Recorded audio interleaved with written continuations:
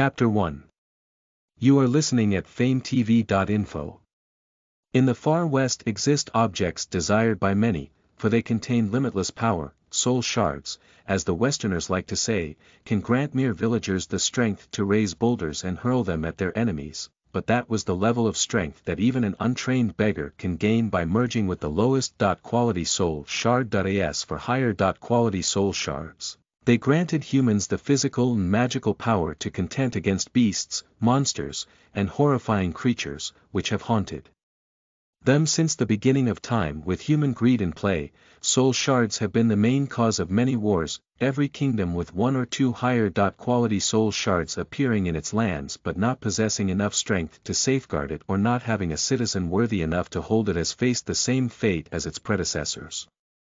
They were targeted and annihilated by those eyeing the shards and eventually became a dim part of ancient history. On the other hand, the kingdoms that survived the turbulent times that the appearance of a high-level soul shard brought to their land raised to become a major power in the world.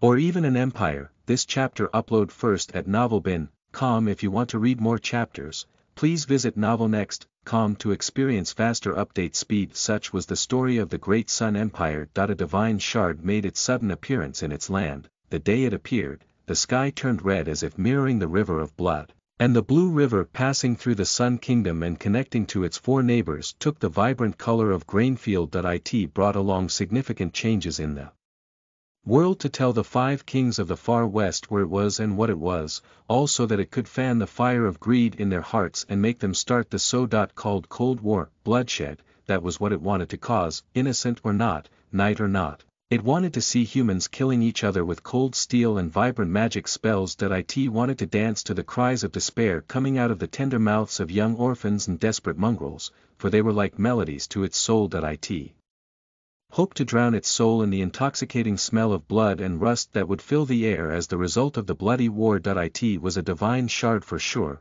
but one containing evil consciousness. This chapter upload first at novelbin.com if you want to read more chapters, please visit novelnext.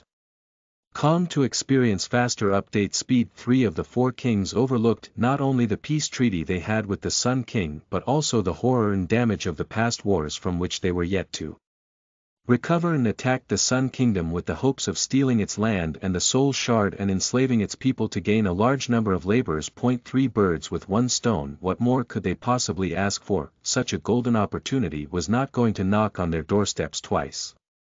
Thus, they attacked the Sun Kingdom after joining hands for the first time, however, even with the combined forces of the three kingdoms, they failed to topple the Sun Kingdom. On top of that, they had to become a part of the Sun Kingdom to appease the Sun King, who had merged with the divine shard for which they were fighting and gained unimaginable power. Fearing utter destruction, they submitted to him reluctantly.